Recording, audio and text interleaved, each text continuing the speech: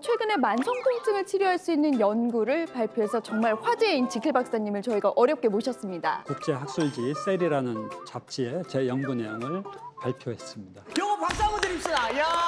너무 멋지다. 정확히 만성 통증 이건 어떤 건가요? 3개월 내지 6개월 이상 통증이 지속되는 것을 말합니다. 통증이라는 것 자체가 질환인 거군요. 만성 통증이 무서운 이유가 있습니다. 또 있어요? 게 바로 만성 통증이 뇌신경계 질환, 뇌 구조까지 바꿀 수 있다는 사실입니다.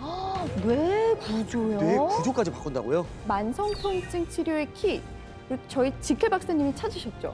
오 진짜요? 키를 찾았다고요? 키를 찾았다고요? 바로 NK 세포에서 찾았습니다.